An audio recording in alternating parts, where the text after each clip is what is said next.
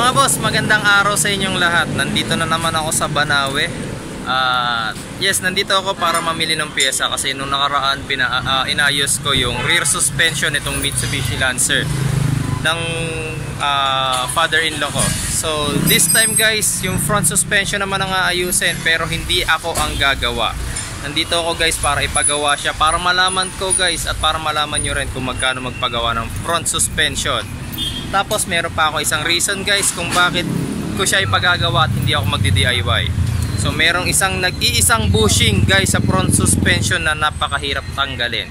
At pakiramdam ko ah, para sa inyo hindi siya worth it na i-DIY kasi magiging sobra ang hirap nyo sa pagbabaklas ng nag-iisang bushing na yon para lang ah, mag-DIY. So para malaman nyo kung ano yung bushing na yon, panoorin nyo yung video na to. Ito mga boss yung tinutukoy ko sa inyong nag-iisang ah, bushing na napakahirap palitan pagdating dito sa front suspension ng ating Mitsubishi Lancer. Kung makikita nyo itong mahabang bakal na to, ang tawag dyan is stabilizer. Itong part na to stabilizer link. Yan, yung mga bushings na yan, madali yung palitan since nandito lang, very accessible lang. Makikita nyo, tatanggalin nyo lang tong nut na to. Mahuhugot nyo na yung buong bolt, tapos papalitan nyo na isa-isa yung mga bushings and then yung collar.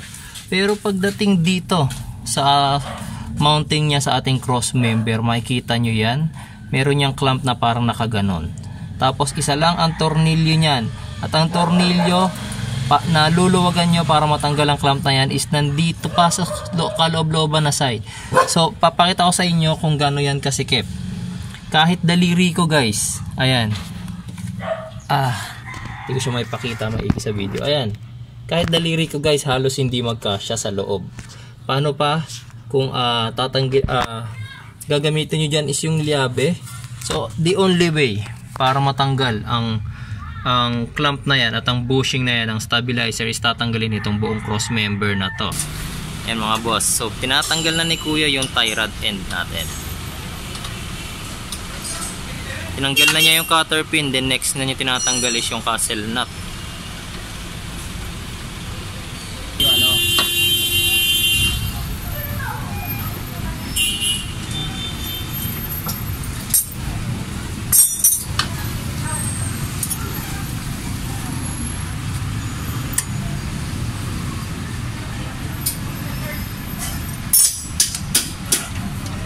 Next na tinatanggal ni Kuya yung retainer clip ng brake hose.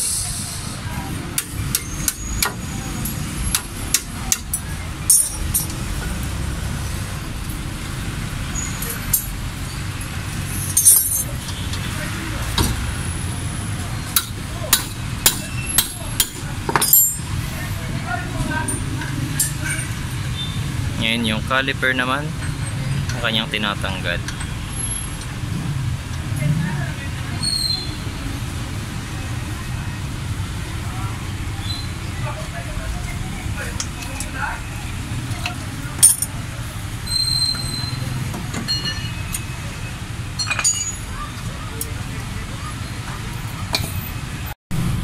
Okay, so next na tinatanggal ni Kuya is yung ah, cutter pin ng ating wheel bearing.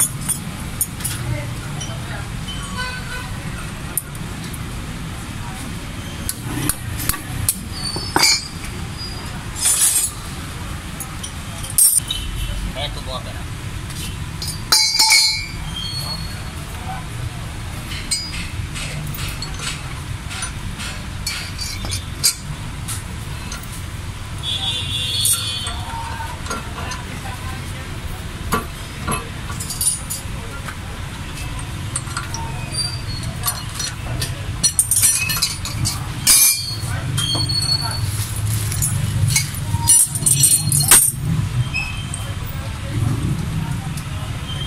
Next na tinanggal guys is yung castle na. Yun yung kanyang washer.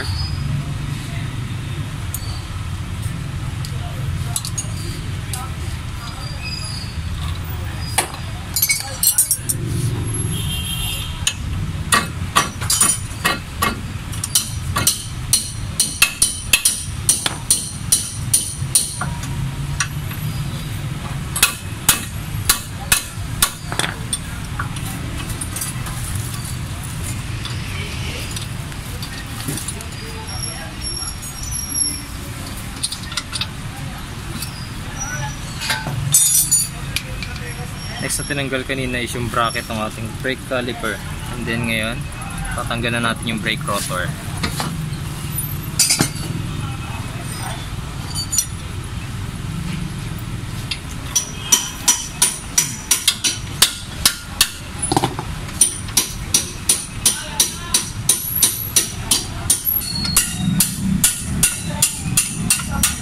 Samantala nag napaka ano isang pirasong bushing lang. Oo.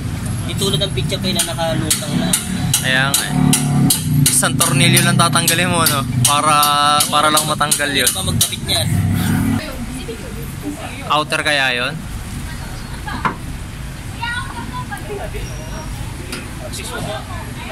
Tama. Ah, sige. Basta na kina-side yung guideline.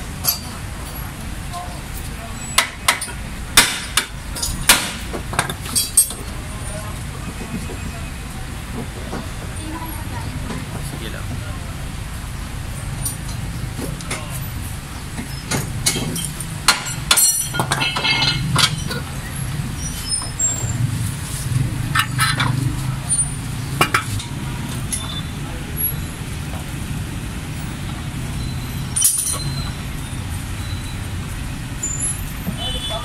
Nakakakit kami.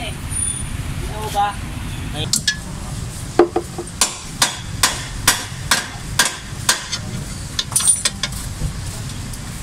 So isang mahabang bolt yan guys. Kailangan niya mahugot yung isang mahabang bolt para matanggal yung mga bushings.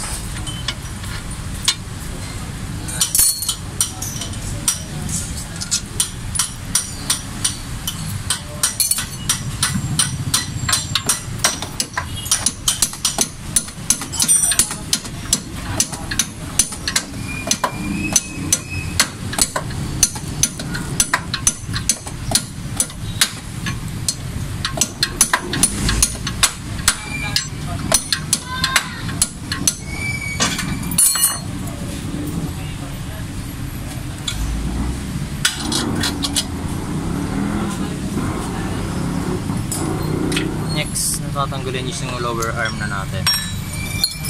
Kapag natanggal ng lower arm, meron yung bushing. Tapos yung ball joint na yan, papalitan na rin.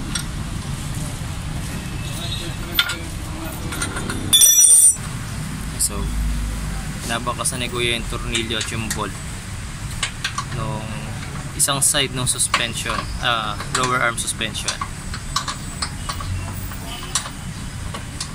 Next na tinatanggal ni Kuya yung ah, kabilang side naman ng ating lower arm.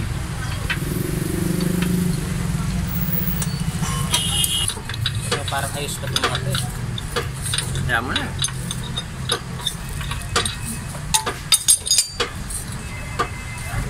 Ayos pa to eh. Ayos pa to eh. Ito na palitan mo.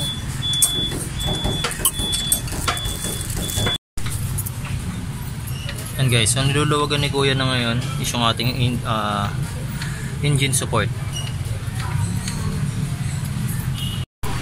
Hmm. Pati canister, kinuha, tinanggal mo na.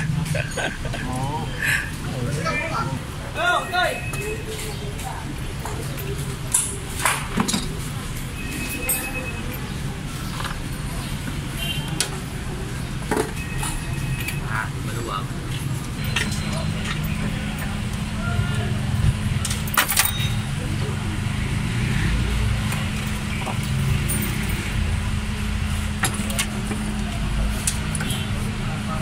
Yeah. So napihit na ni Kuya yung ating rack end. Konti pa.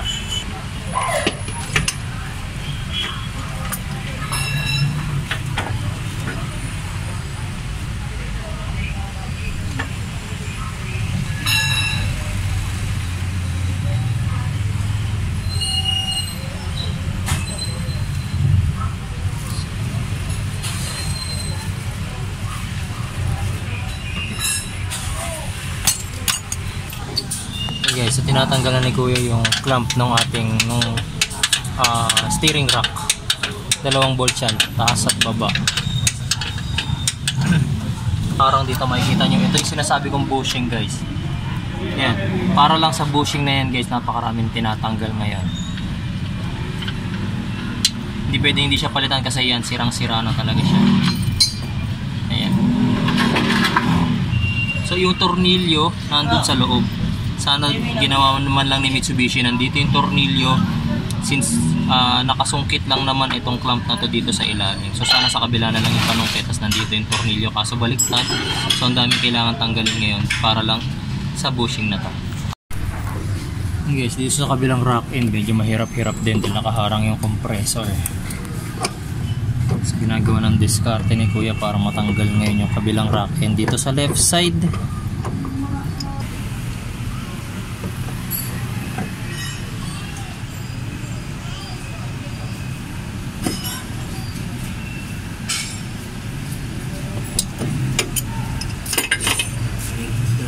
Guys, so hindi nakuha ni Kuya sa ilalim kanina. So dito niya sa ibabaw tinitira ngayon yung isang rack end. Ah, yan yung medyo nagpapahirap sa pagiging mekaniko. Lalo na sa pagdi-DIY guys. Yung sikip kasi ng engine bay na nagpapahirap sa trabaho.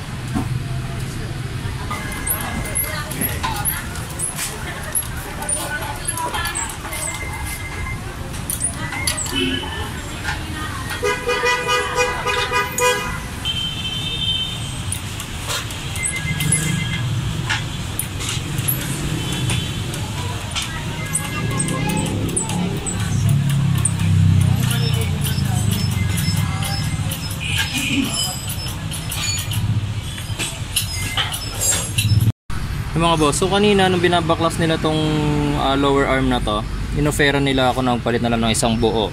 So isang buong lower arm na to, kaso Taiwan lang daw, sabi dito sa ah, best call, 850. Ngayon ang ginawa ko, bumili na lang din ako since original kasi to. Bumili ako ng ball joint, 550 ang isa. Tapos yung suspension bushing, kung di ako nagkakamali, is 250 tas ito 300. Ah, mas mahal, tapos nagpa-mas nagpa-machine siya pa ako kasi pinapress. 200 ang isa. Okay, so 600. So mas napamahal ako pero ah, mas pinili ko na mag ah, original na pyesa kasi yung papalit sana nila is Taiwan lang eh. So ayoko magbaka sakali. Okay, so pati yung isang clamp ng steering rack natin tinatanggal na rin.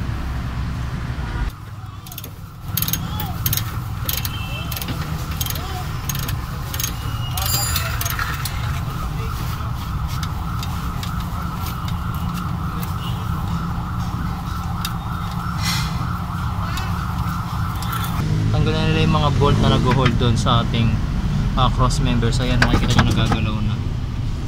Makikita nyo yung tornilyong nakatago. Ayan makikita nyo na guys nag-iisang tornilyo tinutukoy ko sa inyo na nagpahirap sa proseso na to. Tagon-tago diba so kinailangan pang ibaba yung cross member para lang sa tornilyo na yan.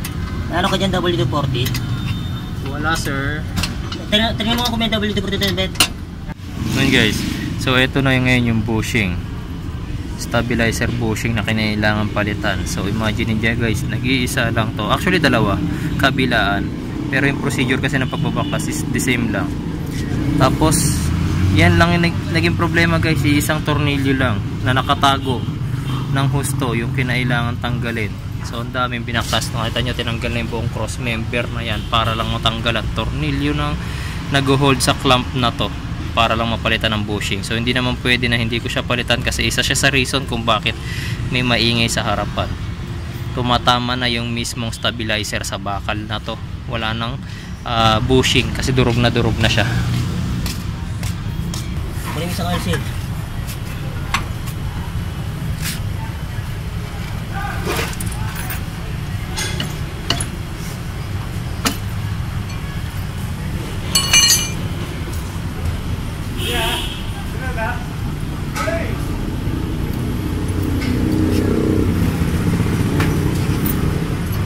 Yan guys, so pinapalitan ko na rin ng oil seal yung axle since nagli-leak na.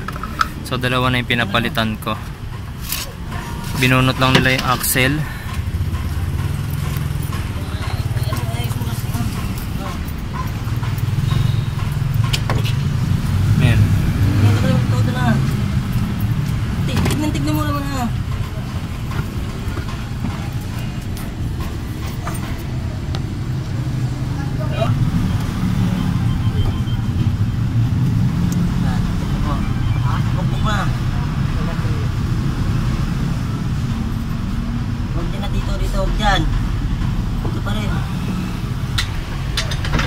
So naikabit na nila stabilizer bushing.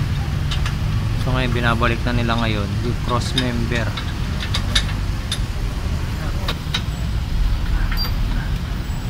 Wala WD-40 nga dyan. Nasa. Ayan, so after maikabit yung cross member, yan, kinakabit naman nila yung clamp nung sa steering rack. Yan guys, so after maibalik yung steering rack, center member naman kinakabit na pati yung engine support na tinanggal nila kanina. Yan. So dalawa, kabilaan, isa rito, tapos isa din dito sa may harap ng makina, ay ng kotse.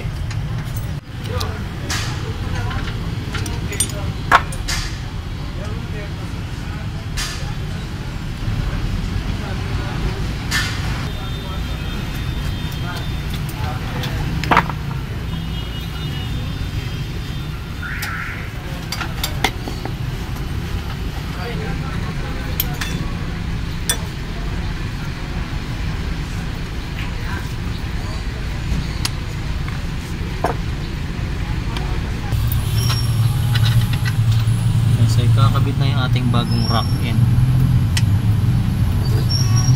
Pero unang inilagay yung tub washer.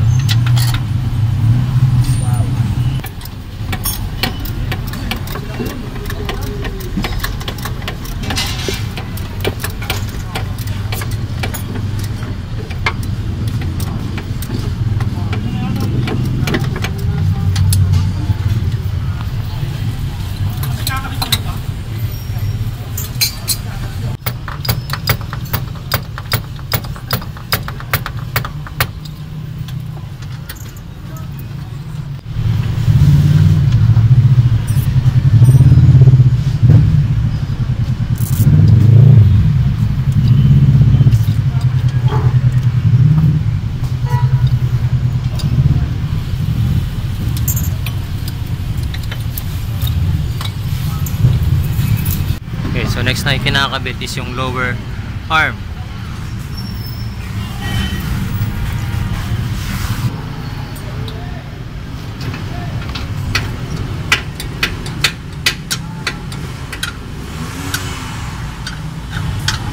Yeah.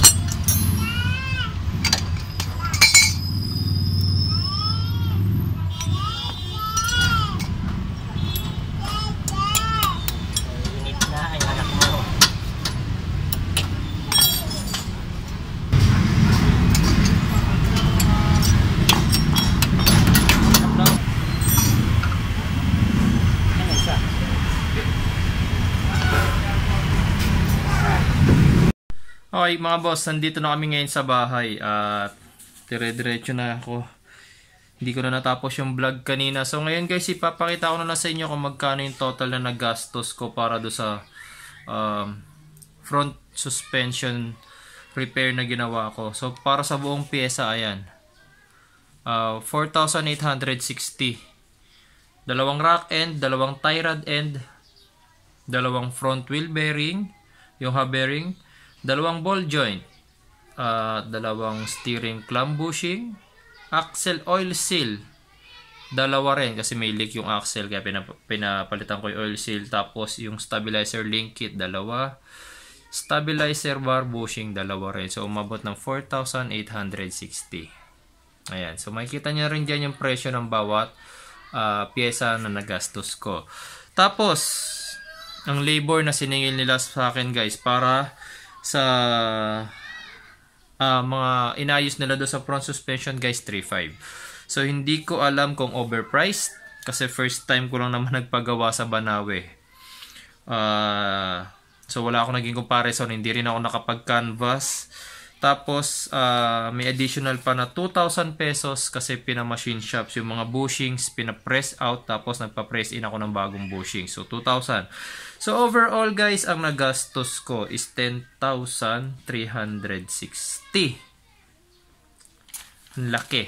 Para sa front suspension lang yan guys. So yung rear suspension ko, uh, meron ako isang video, nakita nyo doon kung magkano yung pyesa na ginastos ko plus uh, sa pagpapapress at pagpapatanggal ng mga bearings. Nasa 1.1 din yung binayaran ko sa machine shop noon para sa press in and press out ng mga bearings. Tapos sa labor lang ako nakatipid dahil ako gumawa nun. So this time, uh, hindi ako gumawa nun sa front suspension. So sinabi ko na sa inyo yung dahilan kung bakit.